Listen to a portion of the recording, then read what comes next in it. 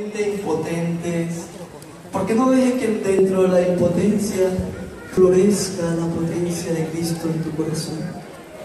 Madre, he tenido muchos momentos de impotencia en mi vida y recuerdo que en esa impotencia tiene que florecer, como me decía, ahí tiene que salir agua nuevamente para que florezca algo de Cristo en este momento de tu vida. Eso es la espiritualidad. Eso conservo en mi corazón. Como la madre guardaba todo en su corazón, este hijo guarda cosas muy especiales que le ha dicho en momentos, encuentros. Sé que por todos nosotros, por las ocupaciones que tenemos, a veces no tenemos la oportunidad de compartir, pero qué lindo poderlo compartir ante este pueblo de Dios, lo que es la espiritualidad suya y la espiritualidad de todas sus hermanas que están. Me llena de gozo y de regocijo ver en, en San Reino del día del 31 de mayo, en esas fiestas, en esa solemnidad, de la visitación. Ver sus lágrimas de Madre Ana y de todas ustedes, viendo a dos, a Sister Mónica y a Sister Molly, viéndolas a ellas profesar, profesar ante Cristo su enamorado para entregar la vida a Cristo. Dos jóvenes de que 24, 21 años, 23 años, 21 y 23. Ustedes no se imaginan, Madre, cómo disfruté viendo a estas dos mujeres con esa alegría y con ese gozo. Y decía, cuánto yo quisiera que trajeran a todas las niñas de high school a todas las niñas del coche, y vieron estas niñas enamoradas, felices, es que eran lágrimas y lágrimas. Así que gracias, Madre gracias a todos, gracias a Cristo, a Cristo, gracias al Padre y gracias al Espíritu Santo por tener a esta gran mujer. Lo dejo con ustedes,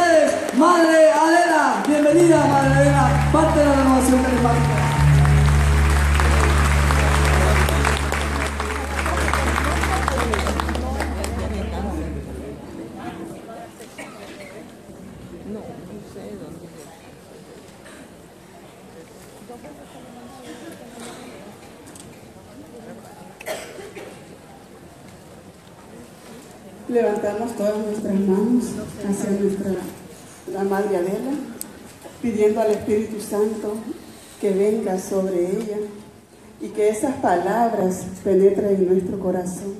Ese mensaje que el Señor nos manda a través de ella se quede ahí grabado, grabado como esa semillita y en el tiempo de Dios, de esos frutos abundantes que el Señor quiere hacer en cada uno de nosotros para que esa tierra siempre esté fecunda, llena del amor y del Espíritu Santo del Señor.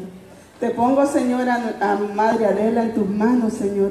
Úngela con el poder de tu Espíritu Santo, mi Dios. Y esas palabras que salgan de su boca, Señor, penetren, Señor, y se queden como esa espada de doble filo, Señor, que entra y sale, Señor, igual, cortante, Señor. Y estamos gozosos, Señor, y alegres, porque esos sacerdotes que has mandado también, Señor, esas enseñanzas, Señor, que se han quedado en nuestro corazón, Señor, son grandes y maravillosas, Señor. Siete que te pido, Señor, unge, unge a Adela, Señor, y que seas tú hablando a través de ella, Señor. Todo esto te lo pido en el nombre de tu Hijo amado Jesucristo, que vive y reina por los siglos de los siglos. Amén. Antes que se sienten, no se sienten.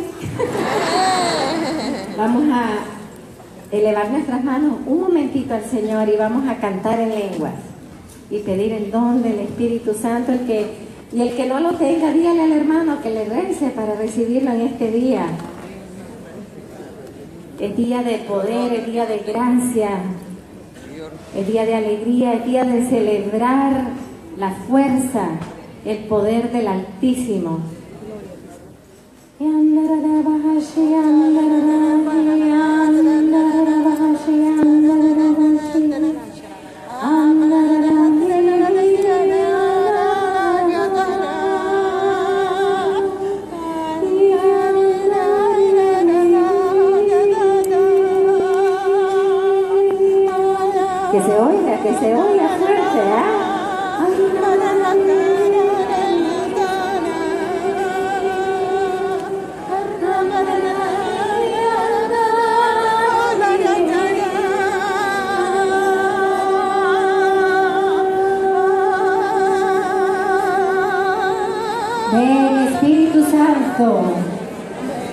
Derrámate sobre tu pueblo, derrama tus dones y carismas y tus frutos, derrámate con la fuerza de la alabanza en tu pueblo, Señor, alaben al Señor, te alabamos, Señor, te bendecimos, te damos gracias.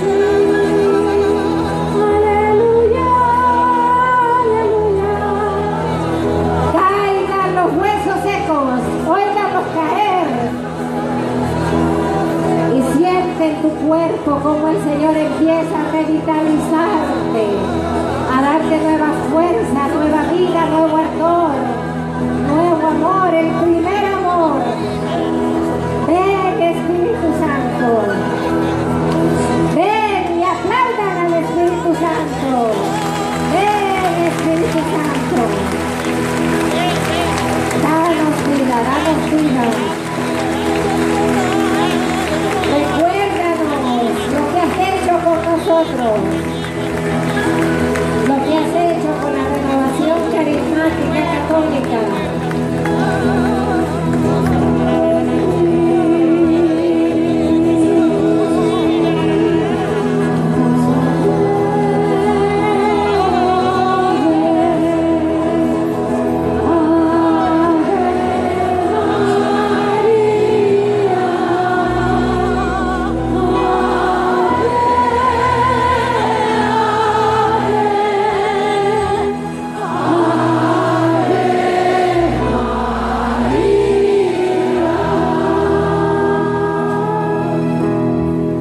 Hay Pentecostés sin la presencia de la Santísima Virgen. Un aplauso a nuestra Madre. Más fuerte para ella.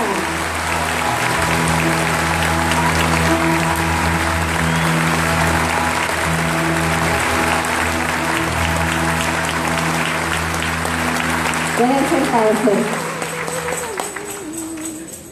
Me disculpan si en algunos momentos se me va un poco la voz, pero anoche regresamos de una semana en Colombia bastante intensa. ¡Viva Colombia! Llevando la reliquia de San Juan Pablo II, su sangre, y predicando todo el tiempo. Y pues, como comprenderán, voy a hablarles más de mi corazón que del tiempo que tuve de hacer alguna charla.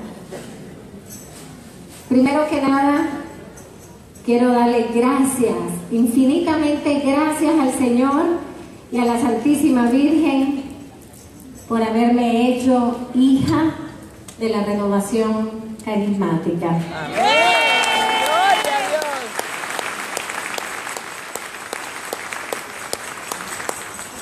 Voy a contarles y empezar y compartir con un pequeño testimonio. testimonio, si me lo permite, es personal. Siempre he dicho que yo fui Mariana de concepción, o sea, fui concebida Mariana. Eh. Y no solo porque soy nicaragüense, ¿ah?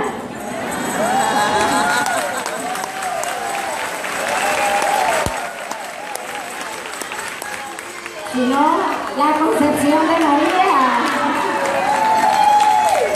Pero sobre todo porque fue un regalo inmerecido que el Señor le dio a mi alma. Conocer desde el vientre materno el amor materno de la Santísima Virgen, conocer quién es ella, qué hace ella.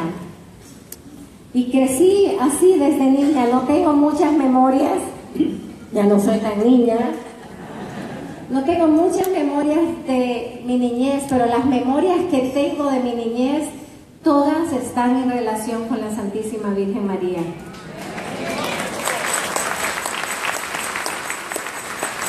Tal es así que mi madre, que en paz descanse, que sé que me está viendo desde el cielo, me decía, yo solamente fue el instrumento para darte a luz, pero tu verdadera madre ya sé que no soy yo. Ya sé que no soy yo, porque nunca, nunca has dejado de tener a la Virgen como madre. Desde chiquitita, me recuerdo te quería llevar a dormir y me decías, no, no vayas, la Virgen va a estar conmigo. Tuve un privilegio, ahora entiendo el por qué, por el carisma de nuestra congregación religiosa. A los siete años le hice una promesa a nuestra madre, así es que niños o adultos, Dios se toma muy en serio las promesas que les hacemos. Y yo le prometí a nuestra hermosa madre que nunca, y lloro, porque me siento igual que hace tantos años, que nunca le diría que no a ella, que lo que ella me pidiera siempre le diría que sí. Promesa que hasta en este mismo momento cumplo, porque debería estar en Colombia, pero para la renovación me llamó. En ese 50 aniversario dije, tengo que estar presente. Cuando tenía 12 años, meditando el día de la Anunciación, el 25 de marzo, tuve el privilegio también de estar en un colegio mariano que me permitía ser plenamente quien yo era, hablar de la Virgen, enseñar de la Virgen. Desde chiquita estoy enseñando, por eso ya estoy cansada. Pero a los 12 años, en la meditación de la Anunciación, cuando yo leo las palabras, he aquí la sierva del Señor, hágase en mí según tu palabra. Yo miré a la Virgen, había una estatua en mi colegio que era mi casa, esa estatua era mi casa, ahí pasaba mucho tiempo. Y le dije a mi madre, madre, casi como que tenías mi edad. Cuando tú le diste este sí a nuestro Señor, si a mí se me parece ahora un ángel y me pide algo semejante, ¿qué diría yo? Si Él me pidiera que yo le diera toda la vida al Señor, ¿qué le diría yo? Y me di cuenta que no le podía decir ese sí, entonces le pedí algo a la Virgen. Le dije, Madre, yo quiero amar a Dios como tú lo amas. Yo quiero conocer y amar a tu Hijo como tú lo conociste y lo amaste. Haz algo en mi vida que me lleve a amar a Dios de esa forma. Pues ella, acuérdense que ella siempre sale en prontitud. Y pasan muchas cosas y no quiero hacer el, testimonio muy largo, pero en el medio de eso yo me enfermo y pasan muchas cosas. Creían que no iba a sobrevivirlo. Pero en ese momento me dice una enfermera, ¿tú crees que el Señor sana? Y le dije, claro, si el Señor es el mismo ayer, hoy y siempre. Si Él sanó hace dos mil años, sana hoy y seguirá sanando hasta el fin de los tiempos. Amén. Claro, yo, no, yo creo que no fui yo la que dijo eso, sino el Espíritu Santo. Amén.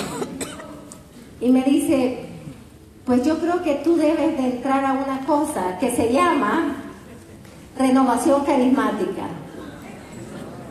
Y le dije, ¿qué es eso? Y dice, pues yo tampoco sé porque vienen por primera vez a dar un seminario aquí a, Nicaragua y pues nadie sabe exactamente qué es, excepto que alaban, levantan brazos, que cantan, que rezan, que oran, que la gente se sana, que dicen profecía, eso es lo que me han dicho. Y cuando yo oí eso, yo supe que eso era para mí, que esa era la respuesta de la Virgen para mí. Amén. Y tuve el privilegio que esa misma noche el Señor a través de las manos de su madre me sanó para poder dos semanas más tarde ser la joven más pequeñita, tenía 12 años y medio, que entró a la renovación carismática en Nicaragua.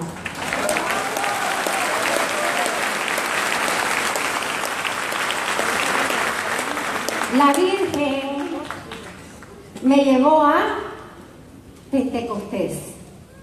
La Virgen me llevó al Espíritu Santo a conocerlo, a vivirlo, a experimentarlo en mi propia vida, a conocer qué significa, qué significa decir ven Espíritu Santo, porque muchas veces lo decimos con ligereza. Ven Espíritu Santo es pedir un nuevo Pentecostés para mi propia vida. Yo entré por primera vez en ese seminario que nos estaban dando y cuando yo vi a la gente con los brazos bien en alto, yo dije, así es, así es. Y me dice la persona que me llevó, porque yo tenía 12 años y medio, ¿qué cosa es así? Y le digo, así es el cielo y así tiene que ser la iglesia.